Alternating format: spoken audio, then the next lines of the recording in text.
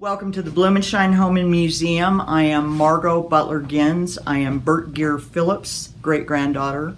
He and Blumenschein started the Taos Society of Artists, and you are in Ernest Blumenschein's home. Was their living room after they acquired the entire house. This is all their furniture in this particular room, including the Victrola. Um, these are their books and things that they collected over the years. Um, that is at the railroad yard in Cincinnati, I believe. It is a major Ernest Blumenschein painting. Um, paintings in what in the Western art world, especially, two art collectors are in three categories: major, medium, and minors, and that's based on the sales price. Okay, this is Ernest and Mary, his wife's original bedroom.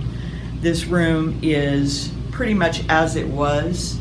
These are Mary's illustrations for Arabian Nights, a book she illustrated. Um, she did a lot of illustrations for a lot of books. She was very gifted in all mediums of fine art as far as two dimensions.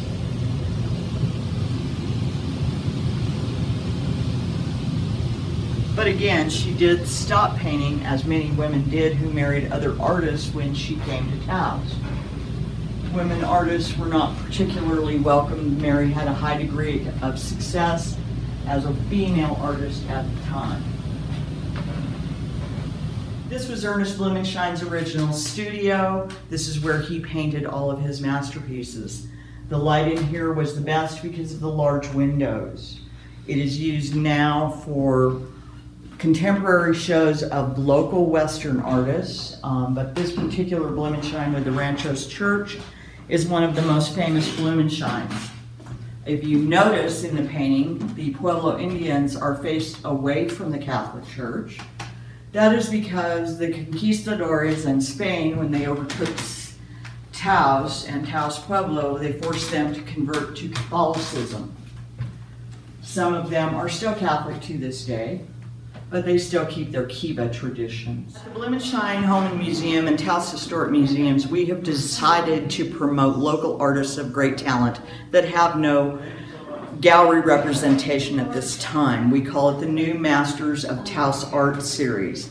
This is the second in the series. This is Mr. Bill Barron, who is currently the cartoonist for the Taos News. He also has a background in painting. He is one of the best Western artists I have come across in many, many years.